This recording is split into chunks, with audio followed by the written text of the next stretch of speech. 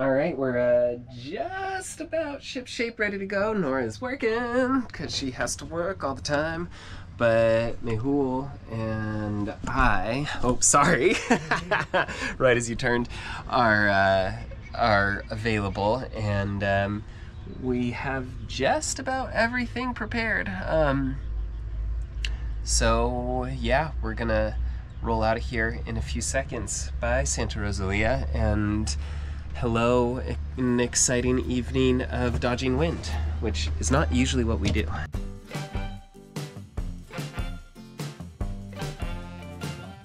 We've left Santa Rosalia now, but it has not left us.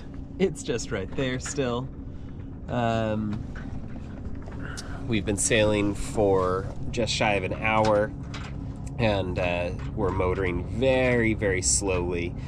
Tonight is our big sailing puzzle night, where we are trying to get somewhere as close to seven without being early as possible and that somewhere is the edge of the wind wall that I filmed on my computer earlier. So we're just going to be keeping an eye on the weather, keeping an eye on our position, um, rebuilding routes, and rerunning the statistics on uh, what our likelihood of being where when looks like. I'm hoping that that doesn't include a lot of intentionally putting myself out of the wind and therefore motoring the entire time. And so that's that's where it starts to become a little bit more of a game of trying to go the right speeds to be in just the right place not just not in the wind because we want we want some wind we want to sail we just don't want too much wind where we have to put tons of reefs in the sails and deal with uh, yeah heavy wind events because there's some areas ahead of us if we hit them wrong where we would see 30 knot gusts and that's yeah that's where everything really starts to get unpleasant so we're just gonna have to see what happens. Goodbye, sun. First night of probably two for this trip, I'm guessing, most likely. Most likely, most likely two nights. Maybe something happens that we go fast tomorrow and manage to get someplace where we can put the anchor down, but I'm not super expecting to. I also bet that when it comes up, everybody's gonna vote to keep going and skip uh, San Frisquito. San, San Francisquito. Ay, uh, I say it wrong one way or another way. you can't really get it right. Um, but yeah, I think we're probably going to end up skipping there when we all start deciding if it's the, the move or not and uh, go to the midriffs, in which case would probably add an evening. But we'll see. He swam away, but I hope he comes back. His fin came out. I saw his that's face. what I've been seeing for a long time, and I was like, why? What is this? You sure it wasn't a ray? I'm so positive. That guy there? Yes, it must be.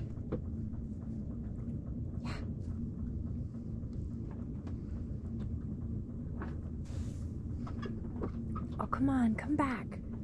I looked him right in the face. Turn the prop off. Sure. Did you do that? Yep, I'm gonna switch sides. Looks like. Ah, too bad.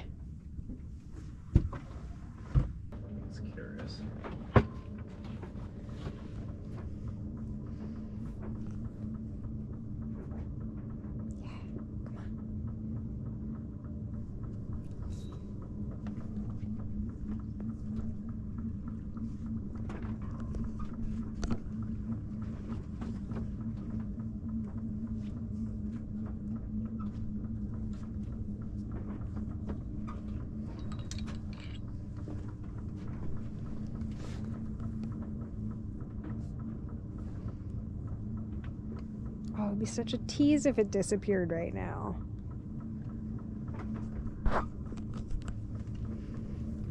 That's there.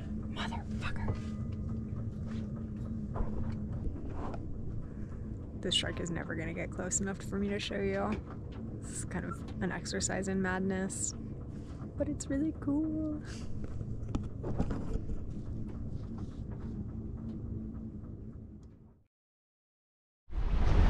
Got sun now, but uh, oh man, it was a uh, complicated night last night.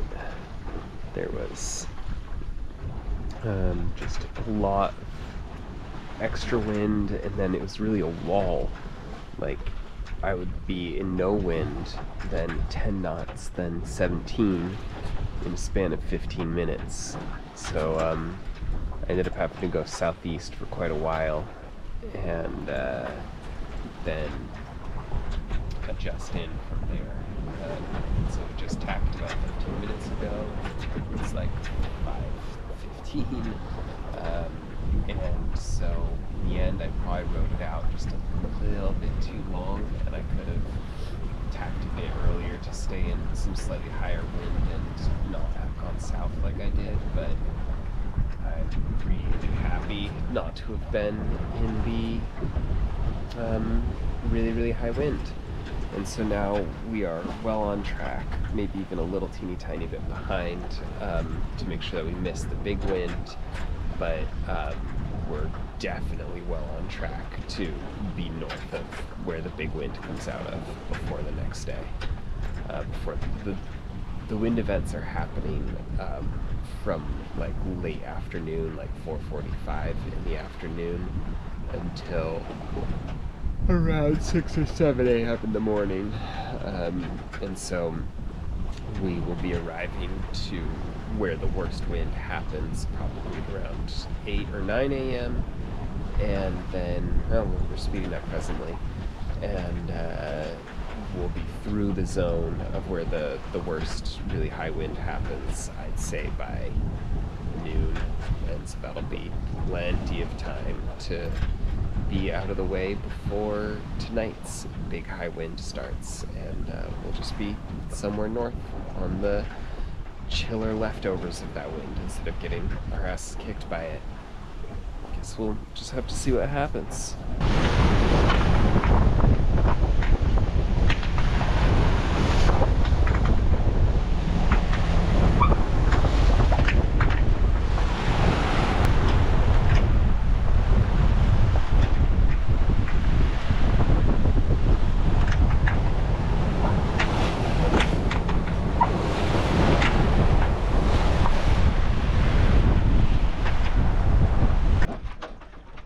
Absolutely superb morning. We got like 12 to 17 knots, and for a lot of the night, we were going, well, I guess early morning. For a lot of the early morning, from like 3 a.m. on, we we're going about 6 knots, making real progress. Which is good because we're trying to outrun some wind. I'll tell you, it feels uh, real, real good to not be racing anymore. We um, we had to beat the wind, and we did. Um, we actually caught up to the wind for a second, and I adjusted it last night, but uh, now we're going slow, going easy, probably a little bit slower than we'd like to be going, but like over two knots and on course, we're chilling.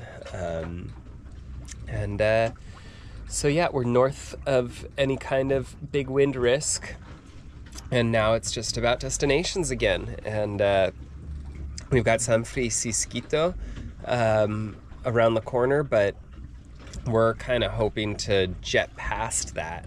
We could probably get to San Francisquito like mm, midnight tonight. Um, but I think what we're hoping instead to do is get to somewhere in the Midriff Islands um, in like the early morning tomorrow instead. One more night. Something very strange dead ahead. Is it like that boil of white water? Yeah. Yeah. I think now? it's no. I saw it earlier. I think it must be fish. Mm. Because oh, yeah, I saw some small splashes within it. You're suddenly in this really loud patch of just hella birds. Lots of different kinds too.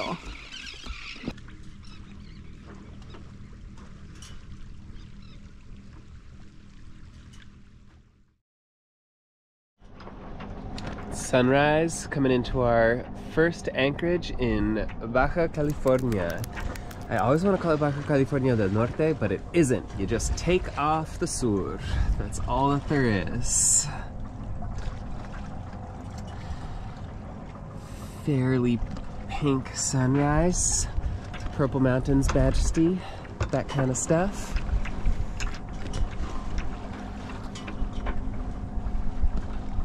Wind that we haven't had all night is suddenly here right now, uh, giving us a little push as we come, but uh, it's gonna be time to take down the main anyway. And um, let's give this let's give this reef even a little bit more room. We don't have a lot charted here.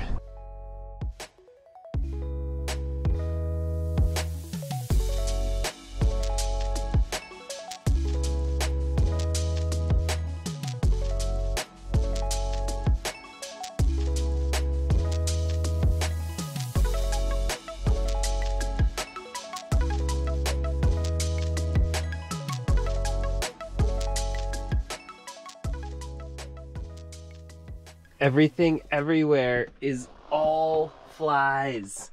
It's just flies. Ah! Why? I don't know if you can see the cloud, but they're just everywhere. They're in every direction. Oh my god. We keep thinking there's gonna be a better time of day, and it just keeps getting worse.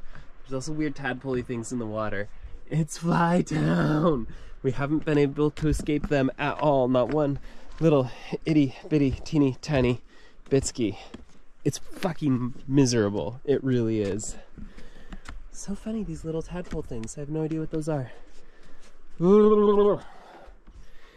Get off of me. Get away from me. Holy shit.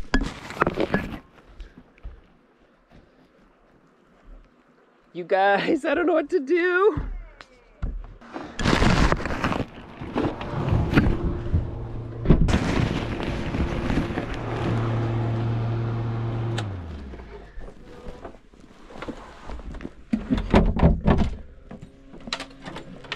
How'd you do? It's so fucking horrible out there. It, it's really the worst. We're gonna go face these bugs here in a second. See if we can't see these caves. We're hoping that sunset is not their time since mid noon was, but not feeling super lucky. This has been the fly apocalypse. Oh god. Do you have water, Nora? No.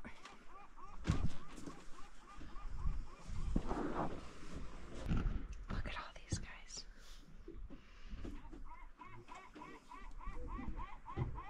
Every surface looks like that. I feel like we have to look like crazy people. Like, there's no way these flies are picking up on camera, but they are everywhere. Fuck the fuck. They've been all over us all day long. It's really exhausting. I guess they're bobos. Look at my feet. Look. Oh, they flew away. I would have called these everywhere. fruit flies. They're just tiny little itty bitty flies, and they're everywhere. And they don't bite, but they climb on you and bang. They're disgusting. They're really gross. I'm exhausted of them. Warriors in the War of the Flies. We keep thinking that we're gonna get out of Flytown, and then we find Flytown Part 2, the revenge of so many more flies. But these ones are smaller. I guess that's better. It's a dramatic place. It really is. Just a little bit. okay. Hello. Hey guys. We're cool. We're cool. Kind of menacing the way they went under. Yeah, yeah, that was. I guess I can't tell.